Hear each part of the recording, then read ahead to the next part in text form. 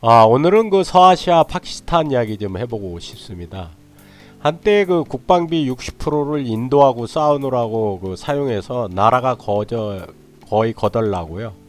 근래에 또 홍수가 어마어마하게 난리나서 지금 국제사회에 도움을 요청하고 있죠. 이 파키스탄에 갑자기 미국이 손을 뻗고 있습니다. 미국이 최근 그 파키스탄과 그 외교적 관계를 개선하고자 어, 좀 그 인도가 좀 긴장하고 있는 모습입니다. 아, 주 파키스탄 미국 대사가 그 파키스탄과 그 인도 사이에 영토 분쟁이 있는 그 카스미르 지역을 방문에 대해서 인도가 반발했다고 하는데요.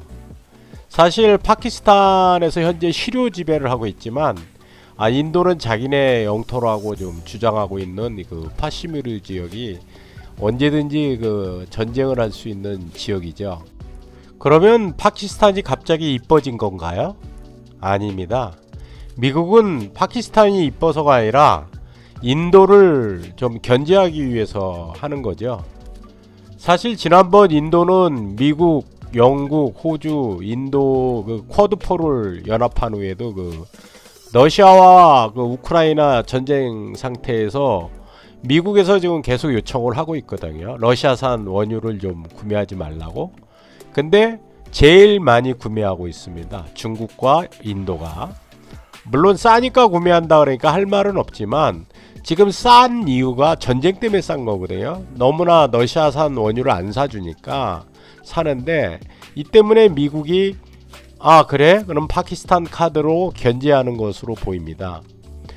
중동의 그 사우디아라비아 그 미스터 에브리싱이 뭐 지금 총리에 취임했지만 과연 왕에 잘 취임할 수 있을지 미국이 가만 놔둘지 그것도 한번 지켜보아야 될 일이죠. 미국은 초강대기국이고 좋은 나라 같지만 본인의 나라에 조금이라도 실수를 하게 되면 가만 놔두지 않습니다. 지금 북한이 뭐 원자폭탄을 만들어서 계속 압박을 하고 있는데요.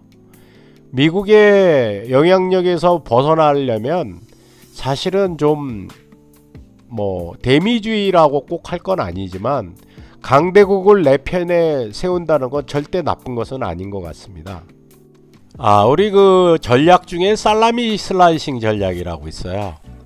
어, 살라미처럼 이렇게 잘라서 조금씩 조금씩 잘라가면서 결국에는 한 나라를 완전히 망가뜨려 버리는 전략인데 어, 미국 CIA가 제일 좋아하는 그 정부 정복 전복이라 그러죠.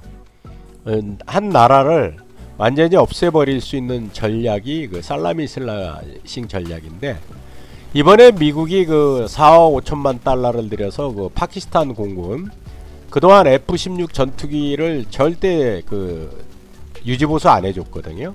근데 이거를 업그레이드 해주기로 했답니다.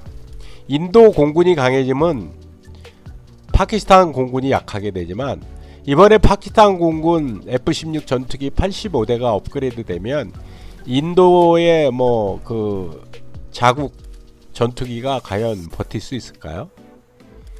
아무튼 그 인도와 파키스탄의 그 상관관계 때문에 미국의 전략이 또 다양하게 지금 전개되는 것 같습니다.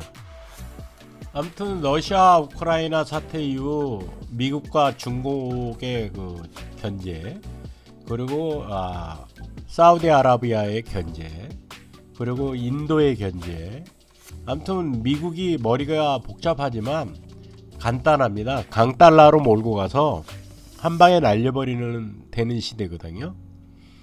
미국의 강달러에 무너진 나라가 상당히 많습니다. 오늘은 서아시아 파키스탄 사태를 보면서 인도의 그 위치를 한번 생각해 봤습니다. 감사합니다.